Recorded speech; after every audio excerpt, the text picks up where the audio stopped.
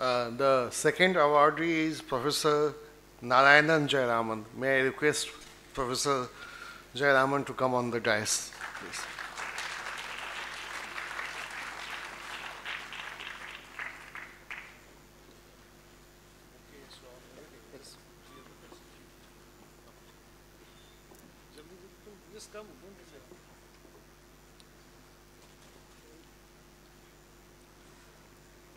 May I request Professor Sarkar to greet, greet Dr. Jayaraman with the shawl?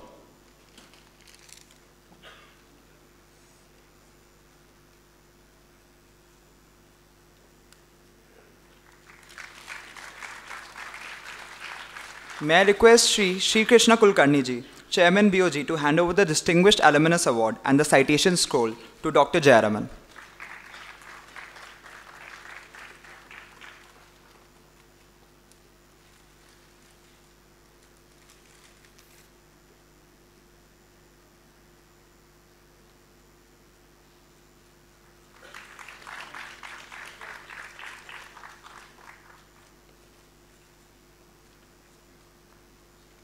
May I request Professor Karnika Bains to come on stage and read the citation for Dr. Jayaraman.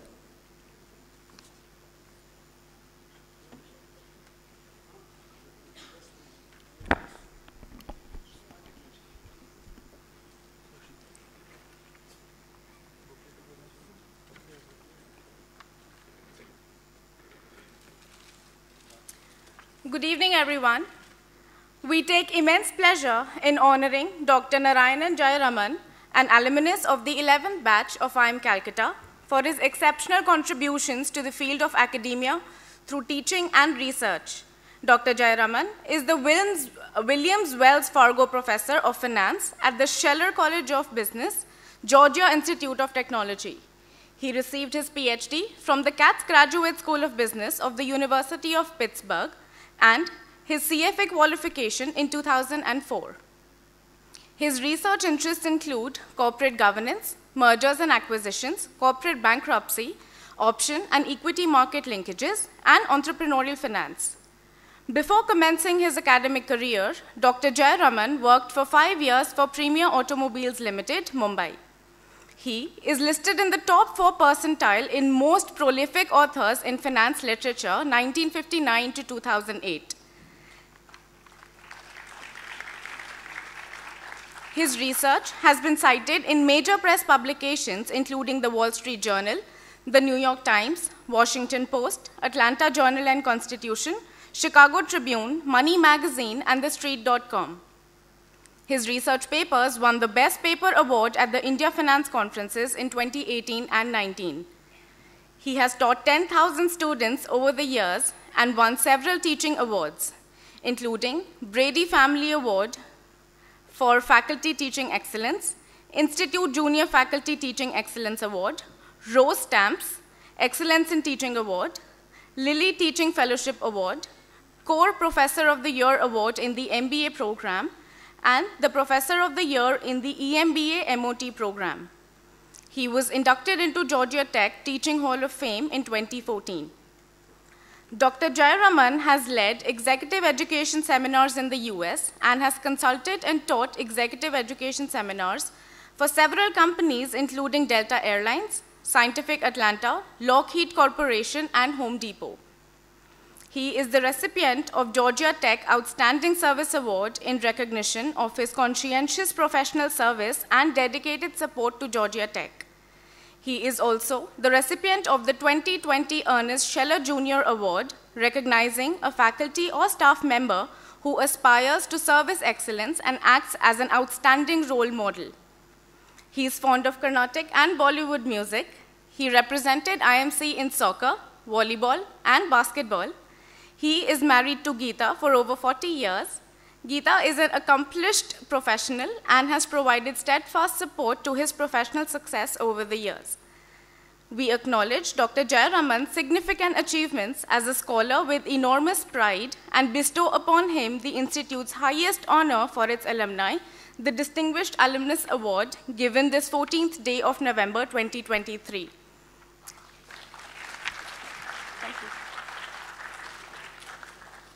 May I request Dr. Jayaraman to kindly share a few words?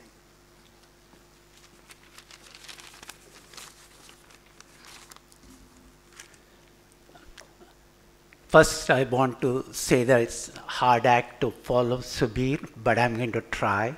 And thank you, everyone. This is a memorable day for me to receive this award. So, dear chief guests, the distinguished Chairman of Board of Governors, the Dean of the College, and Dean of Alumni Relations.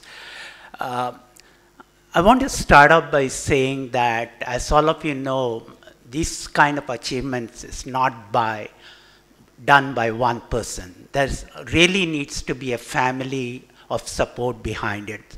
So I want to take this time to acknowledge all the people who have supported me throughout my journey. My parents, of course, are probably watching from heaven, enjoying this uh, ceremony. Already, um, the commendations sort of told you about Geeta, my wife of 43 years, and there's no question that without her support, I would not be standing in front of you talking about this. I, of course, have a great family of two daughters and son in law, and they also have been very, very supportive. Um, the professors' names, as you saw, I'm probably one of the oldest recipients here.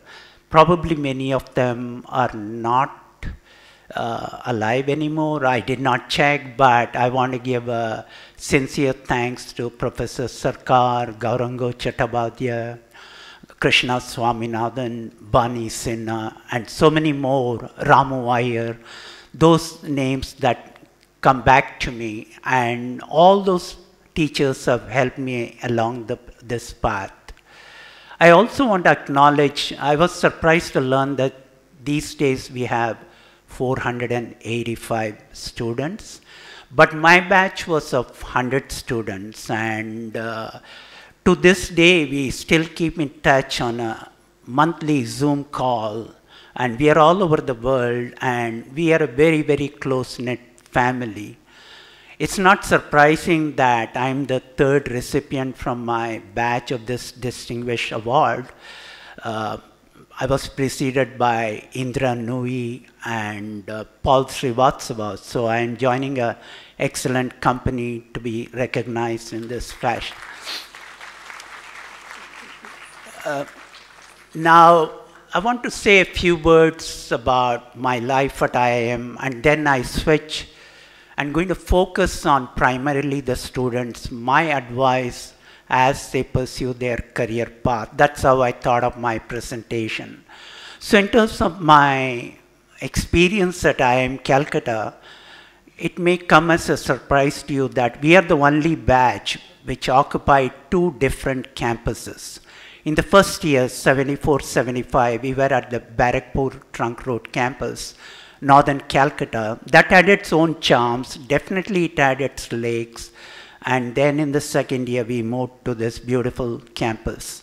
Of course, the campus has changed very significantly, but it has not lost its beauty in terms of lakes. And uh, I still uh, fondly remember the memories of H1, H2, H3, H4. Now they are called Tagore Hall, probably small set of accommodation for thousands of students here. Uh, since I played a lot of soccer and I also captained the team here, I just want to relate an incident, not directly related to IIM Calcutta, but uh, soccer mania, at least that used to exist in Kolkata in those years. You know, my friend and I decided to go and watch a soccer game between East Bengal and Mohammedan Sporting at uh, then called uh, I don't think it was called Netaji Stadium at that time, might have been. It was Eden Gardens. So first of all, we didn't know how to get the tickets in the black market. Then somebody came and told us that you just say, I've got two tickets. Then somebody who has two tickets will come and give you the tickets. And we did that. We got the tickets. Then we sat as spectators, and uh, lo and behold, Mohammedan Sporting scored the first goal. And there were small number of people in our area who were Mohammedan sporting supporters. They were euphoric. They were jumping with joy. And uh, Then after 10 or so minutes, the East Bengal scored. And then you should see the commotion, though East Bengal supporters, vast many of them, really uh, were having some sort of a fight with the Mohammedan sporting uh, spectators, supporters. Anyway, the game didn't finish, as you can imagine. So we all take the exit, and those days there was mini bus, and we wanted to get a mini bus to Thakurpukur. And guess what? In a minibus of 12 people, there were 20 people, some sitting on the front and some sitting on the top. and the minibus driver straight drove the minibus to Kidderpore police station. He said, okay, I'm going to hand over to the police. The police person came and said, whoever wants to pay the money can pay and leave my friend and my friend Harish and I just took the opportunity, paid, and came scrambling to get the bus and back to the campus. So that was the passion for soccer. Unfortunately, probably these days it's more gone towards cricket, and maybe many of you are planning to watch the game tomorrow. But that was uh, Calcutta in 74, 76. Now, switching gears, I thought, what's the best way to frame my, you can call it advice to the mostly students. And uh, one of the famous politicians in US, his name is Newt Gingrich, and he gave a long talk, 45 minutes in our commencement. Then he told the people, you're not going to remember anything I said over the past 45 minutes, but I want to leave you with these eight words. I'm going to elaborate a little bit on those eight words for success. The first two are dream big. Third and fourth are work hard. Fifth and sixth are learn constantly. And seventh and eighth are enjoy life. So, dream big, really, I believe in it. You can be, especially the students in the audience, you can be what you want to be. You saw that uh, some of the distinguished alumni are CEOs or accomplished professors or successful politicians or government officials. So basically, if you put your mind to it, nothing to stop. You have to work towards it every single day. Work hard, easier said than um, done. And uh, um, the best way I want to start out that is if you look at, uh, I'm from the US, I'm a US citizen. When I look at my President Joe Biden, he has never accepted failure, right? Those of you are familiar with the history, he ran for presidency in 1988. He didn't get the nomination. He ran again in 2008. He did not get it. 2020 was his year. Of course, he is 80 years old, but he still pursued, persisted, and he's even going to run for the second time. And you can imagine how much of a passion and a dreamer he is to get to where he is. So never, never, never give up. Uh, so I published a lot of articles, and those of you not familiar with the academic processing, it takes uh, roughly three to four years from the conception of the idea to the publication. In the process, you're going to get so many times rejected by your peer reviewers. So every time you get a rejection, you have to take that rejection to heart and try to fix the problems the referee is saying and address it and hopefully place it in a good journal. One of my most cited papers is uh, Culture and uh, Success of Mergers and Acquisitions. And we were one of the first ones to bring up the concept of uh, Hofstede measure of culture from international business to finance we had a very, very hard time convincing our top journals in the field. So we ultimately sent it to the top journal in international business. And uh, It's been cited so many, so many times. So we never gave up on the fact that a couple of our top journals rejected it and just persisted with that. Then coming to five and six, learn constantly. I cannot emphasize enough uh, that point. You may not believe it, I'm in my quote unquote the eighth decade of my life. So uh, obviously I've learned a lot over the years. But if you are in the academic field of uh, finance or any field, you have to keep up with things that are changing, right? So machine learning, artificial intelligence, those are the big things now. So what, did, what do I do? When a new colleague joins and offers the latest econometric methodology to address finance questions, I go there, sit as a student, learn it, and try to use it for my research. So learning absolutely never stops. So you may think come April you're graduating and going on to the real world and your dream job, but you have to be consistently focused on acquiring additional skills.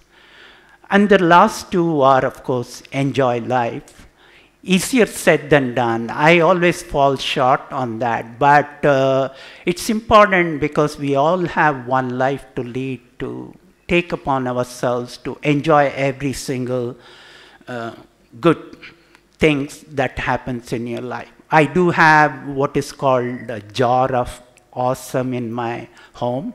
So anytime significant nice thing happens to me or my family, I write a note and put it in the jar. So at some date in future, I'll come, go open it and see what are the things I wrote. Of course, to enjoy life, you have to maintain uh, good physical health, good financial health, and good emotional health. Unless you have all those three, financial, physical, and emotional health in balance, it's very hard to enjoy life. So all in all, these are my thoughts. I hope I didn't take it too long. And once again, I want to thank the institutions and all those committee members who thought that I was deserving of this award. And I'm happy to be in front of you and sharing my few thoughts. Thank you.